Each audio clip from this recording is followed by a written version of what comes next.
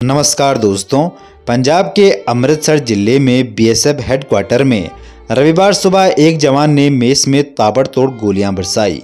Firing में चार जवान की मौत हो गई। एक गंभीर रूप से घायल है। वहीं फायरिंग करने वाले जवान ने बाद में खुद को भी गोली मार ली थी। अस्पताल ले जाते वक्त उसकी मौत हो गई। फायरिंग करने वाले जवान की पहचान बटालियन 144 के कांस्टेबल सतप्पा के रूप में हुई है।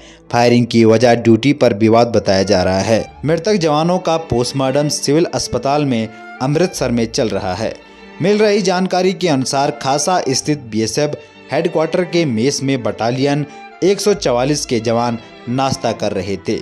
इस दौरान बटालियन 144 के कांस्टेबल सतप्पा गुस्से में तमतमाते हुए आए और अंधाधुन फायरिंग करने लगे। बताया गया है कि सतप्पा ड्यूटी को लेकर नाराज़ चल रहे थे। इस घटना से हेडक्वार्टर में हड़कम मच गया। मेस में गोलियाँ चलाकर सतप्पा ने अपने चार साथियों को मौत के घाट उतार दिया, जबकि एक जवान राहुल गंभीर अवस्था में घायल है। सतप्पा इतने पर भी नहीं रुका और अपनी सर्विस कमान लेकर मेज से बाहर भागा और लगातार गोलियाँ चलाता रहा।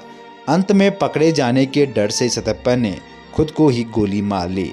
चार जवानों की मौत घटना स्थल पर ही हो गई, जबकि कांस्टेबल सतप्पा और एक अन्य जवान को आनंद फानन में अस्पताल ले जाया गया।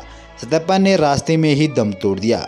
गुरु नानक देव अस्पताल में डॉक्टरों ने उन्हें मृत घोषित कर दिया। वही दूसरे घायल कांस्टेबल का इलाज अभी चल रहा है, जिसकी हालत नाजुक बताई जा रही है। घायल जवान राहुल की माँ उमा देवी भी गुरु नानक देव अस्पताल पहुँच गई। उसके आँसू थम नहीं रहे। उमा देवी ने बताया कि सतप्पा हर जगह पागलों की तरह फायरिंग कर रहा था। जो भी उसके सामने आया, उसको भूनता गया। मेरे बेटे राहुल को भी गोली लग गई। मौके पर मृतक जवानों के परिजन और बीएसएफ के आला अधिकारी पहुँच गए हैं। पुलिस ने भी मौके पर पहुंचकर जाँच शुरू कर दी है। फ़िलहाल बीएसएफ के अधिकारी इस पूरी घटना पर चुप्पी साधे हुए हैं। गोलीबारी में घायल जवान राहुल को गुरु नानक देव अस्पताल से निजी अस्पताल आईवीवाई में शिफ्ट किया गया है। अधिकारियों के दौरे के बाद जवान को यहाँ से शिफ्ट किया गया।